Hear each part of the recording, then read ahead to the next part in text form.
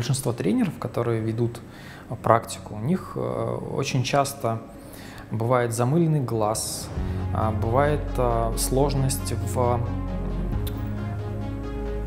разновариантности их проведения тренингов и так далее, и так далее. При этом сам человек очень часто не может объективно оценить, насколько у него а, такие уже вещи а, происходят.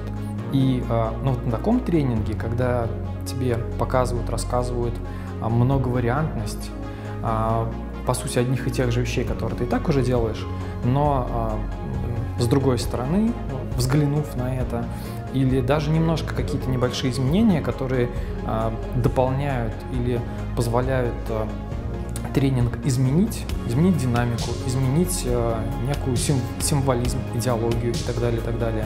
Вот здесь это очень ценно, как раз, а, ну, во-первых, большое количество а, тренеров и практик. Это очень ценно и очень важно как раз для того, чтобы не утопать вот в однообразии собственном, для того, чтобы развиваться. И, собственно, это и есть а, развитие для любого тренера.